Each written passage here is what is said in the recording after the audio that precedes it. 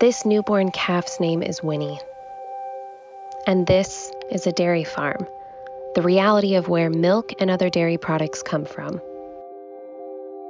Along with other calves, Winnie is taken from her mother within hours of birth and force fed milk replacer with a tube. Her mother's milk, meant for her, is taken for consumption by humans. If allowed, Winnie's mother would have spent about seven months caring for and nursing her baby.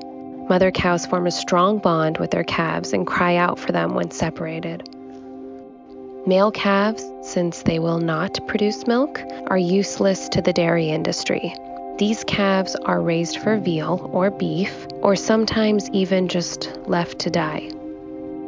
Calves like Winnie, frightened and separated from their mothers, are often kicked, shoved, thrown, and pulled by their ears and tails. Winnie may stay at the facility and be farmed for milk herself. Before Winnie and the other calves are six weeks old, workers burn or cut their horns off their heads at 94% of dairy farms. In most cases, hot irons are pressed against a calf's head, painfully burning away the horn tissue. These innocent calves are tied down to stop them from struggling. Although this cruel practice results in third degree burns and nerve damage, only 18% of farms use any sort of pain mitigation. The pain can last for weeks. As Winnie must be lactating to produce milk, she is kept almost continuously pregnant, having only a few dry months out of the year. Cows are first impregnated at about 13 months of age, and their pregnancies last for about nine months. In a process called artificial insemination, workers insert semen into Winnie's vagina using a metal tube and later an arm into her rectum to check for pregnancy. Once Winnie gives birth, her calf is taken from her almost immediately so workers can harvest her milk for human consumption. The cycle of cruel abuse continues.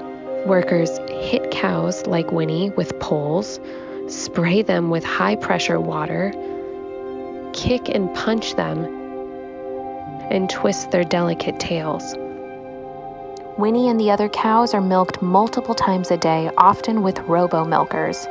This can lead to suffering from a painful infection of their mammary glands, usually resulting from bacteria introduced either during the milking process or from things like contamination from milking equipment, milking personnel, manure contamination, or dirty stalls. In just the last 40 years, selective breeding has doubled the amount of milk produced by each cow. In the US, a cow like Winnie now produces seven and a half gallons of milk a day.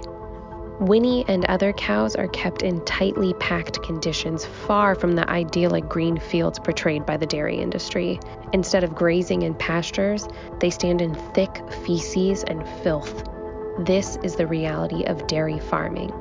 If Winnie or another cow becomes too sick or injured to move on her own, as many cows trapped in the dairy industry do, she will be deemed a downer.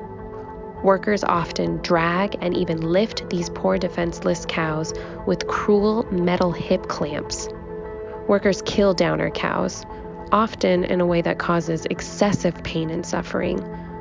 This cow has been shot in the head with a rifle, but has survived. She must be shot again.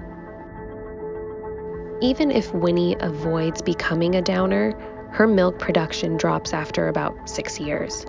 Although a cow's natural lifespan is about 20 years, the dairy industry considers them worthless as soon as their milk production goes down. She's then considered spent and sent to slaughter. Once Winnie and these other innocent cows reach the slaughterhouse, workers often shock them with electrical prods and spray them with high pressure water hoses to keep them moving. Winnie and the others are often stunned with a bolt gun to the head, but often remain conscious after the first shot. This means that Winnie or another cow may be shot multiple times or hoisted upside down by one ankle while still conscious and thrashing before her throat is eventually slit. If Winnie was unable to stand, a worker might drag her by a chain or suffocate her by standing on her nostrils. This is the true cost of a glass of dairy milk. The meat and dairy industries are intrinsically linked. All cows, whether male or female, will be slaughtered for meat at a fraction of their natural lifespan. This cruelty happens to Winnie and other cows in the dairy industry because people consume meat and dairy.